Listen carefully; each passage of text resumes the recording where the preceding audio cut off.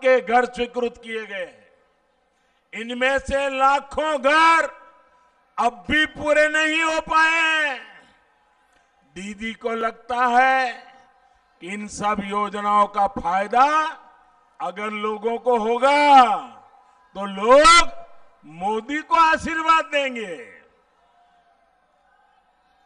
अरे दीदी